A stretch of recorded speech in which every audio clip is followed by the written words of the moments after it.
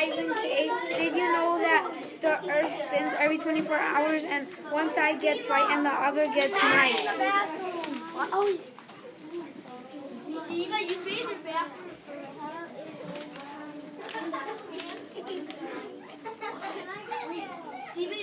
The Earth rotates around every 24 hours and it takes 365 days in a year to rotate around. Thank you for watching. Bye, Ivan. Hello,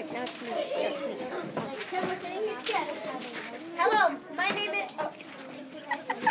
My name is Odyssey, and the, the Earth has daytime and nighttime. The nighttime is caused by the rotation the Earth makes.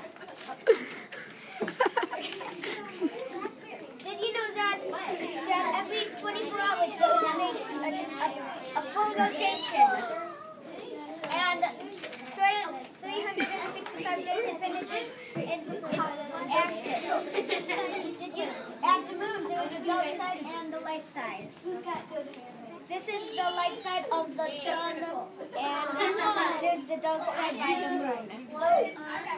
And goodbye.